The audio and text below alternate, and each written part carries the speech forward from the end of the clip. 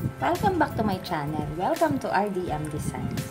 Our tutorial for today is about how to create a Facebook page.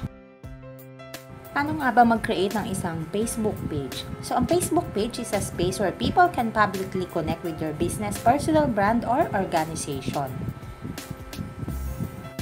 Your first step is to log into your Facebook account. You can log in using your uh, laptop, desktop, or mobile. Then go to your home.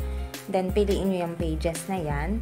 And then mag-create na kayo ng new page. So create and name your page. So pili ka na kung anong name yung ipapangalan mo sa iyong page. Choose category for your page, personal blog, blog, product or service, shopping and retail. So, pwede mo ring i-input dito yung uh, address mo, Or pwede ka rin mag-skip. Pwede mo namang balikan yan later. So, kung may website ka, add your website if you have.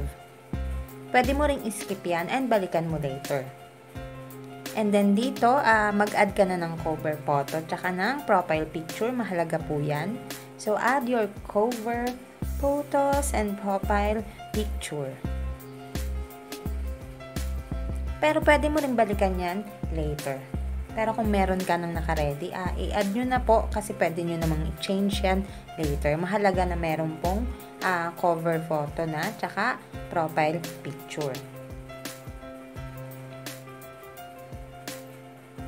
Pwede rin kayong mag-invite ng inyong mga friends para i-like ang inyong newly created page. Pwede kayong mag-add ng action button. Pwede nyong i-connect ang inyong WhatsApp account. Ayan, ganito po mag-create ng bagong Facebook page. Thank you for watching RDM Designs. Kung may katanungan kayo, just comment down below and don't forget to subscribe to this channel.